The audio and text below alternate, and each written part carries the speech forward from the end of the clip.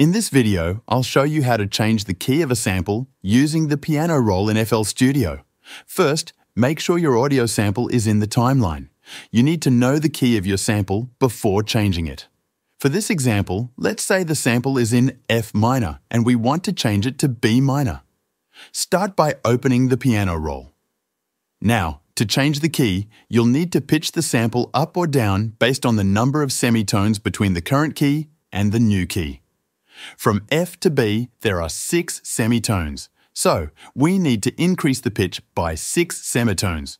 Close the piano roll and double-click on the sample name to open its settings.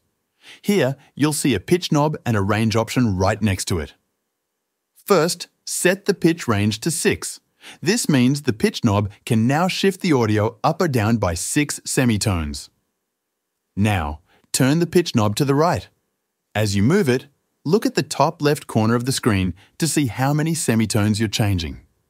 Stop when it reaches 600 cents, which equals 6 semitones. That's it. You've now changed the key of your sample. If you ever want to pitch the sample down, move the knob to the left instead and set it to negative values.